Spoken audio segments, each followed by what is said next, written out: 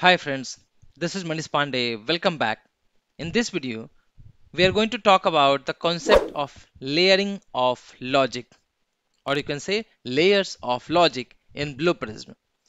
This is very crucial practice in RPA that helps in building scalable, maintainable and efficient solutions. I will also walk you through a practical example to show you how this can be implemented. So let's get started. First, let's understand what the layers of logic means. Layers of logic, you can say layering of logic, refers to the practice of separating the different types of logic into distinct layers or you can say components or pages. First, you can understand with the two main components of Blue Prism. First is the processes, second is the objects. So based on the layers of logic, we are separating these two components. This processes is for the business logic where the high level logic that defines what the processes does and then object logic. So here the detailed steps that interact with the applications to perform the task. And if you are creating and if you have only one or basically that only one workspace where you need to write your business processes and also your application modeler those things also you need to um, add here then that is very hard to manage that. But now if we are separating these things into two different layers one is for the business logic and second is for the object logic like for the processes and objects so here it's easy to separate the interaction with the application that is separate or defining the high level logic in the processes that is separate. In the terms of processes, layers of logic means breaking down a process diagram into a specific task and each arranged on individual pages within a layered hierarchy.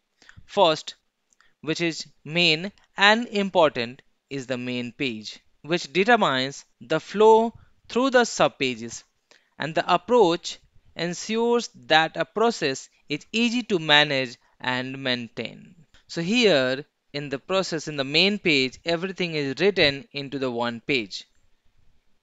Now if you want to apply the layers of logic then we'll have to separate these task modular wise. Separate this task to different different page and then call the pages here. You can see here we have a page stage. Once you drag and drop to the workspace, it will ask you to add a new page and create a reference to it or add a new page without creating a reference to it. So if you click on this, click next, you can enter the page name and after that you can create a reference to here on this, this page itself. So let's talk about this one. So let's say here we have create instance, open workbook, get worksheet as a collection and then close workbook. These four steps we have, these four actions we have that is used to read Excel file and store in a collection. So for this we need to create an instance, open the workbook and then read that, get worksheet, the complete data in a collection and then close the workbook. So these four instances, these four actions can be moved to a different sub pages. So here we'll have only one page. Second, we have remove empty rows and add to queues.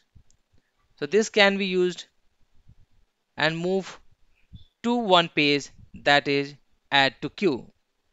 Now here we have launch data solutions, launch Centrix data solutions and then get credential Centrix data solutions login.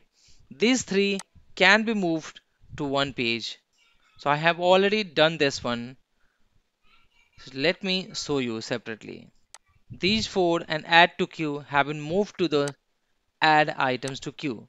And here we have one page called get Excel as a collection and then after getting that it's adding the item to queue. So we have one master page that we can say main page and then from here we are calling each sub pages. After adding the items to queue we have one page that is launch and login which is these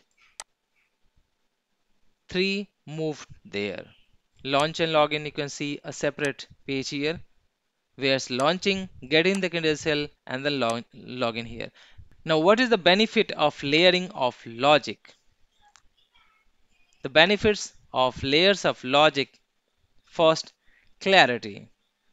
So breaking down the task into the individual pages, sub pages makes the process easier to understand. So if you want to understand this add items to queue, you can go to the sub pages and you can see first is going to get the data, read the Excel as a collection.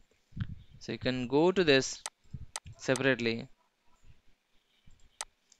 It's creating the instance, opening the workbook, getting the worksheet as a collection, closing the workbook, right? And then after that, remove empty rows and then count that and add items to queue. Second is that modularity. Each page can be developed and tested independently. So if you want to test this launch and login, you can test it separately. There's no need to try running from here, right? Directly you can check this one that's working or not and then you can modify here. Third benefit that maintainability. Changes can be made to one page without impacting others. So if you want to make any changes here, you can modify that. But if you are here, if you are removing anything, then it will disturb the design also and it will it can disturb the other. Fourth benefits scalability. New features or tasks can be added more easily or modifying or adding subpages. So here you can add any actions, anything you can add here or you can easily remove that. It will not disturb your main page. And the last benefits but not the least is the reusability. sub pages can be reused in the main page here. Thank you for watching this video. I hope this video helped you understand the concept of layering of logic in Blue Prism. If you found this video helpful, please like, share and subscribe. If you have any question or suggestion, feel free to leave them in comments below. Until next time, happy learning.